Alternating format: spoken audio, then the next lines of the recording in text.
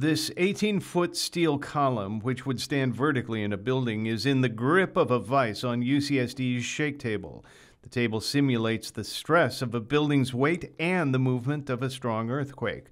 Ultimately, the column buckles and bends, which could cause a building to lean or even collapse. A cross section of this column is seen on the left as if viewed from above.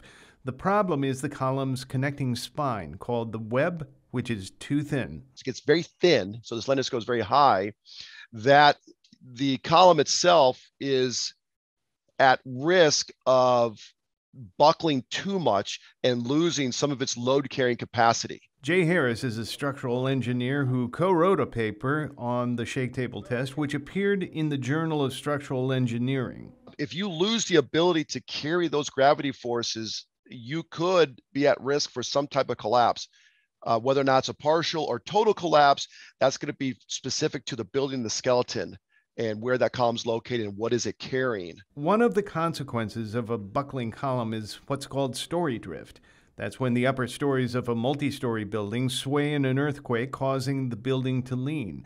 Ironically, the use of the wide columns that failed the shake table test became quite common following the Northridge earthquake of 1994. Engineers thought their greater width would prevent lateral building movement in an earthquake.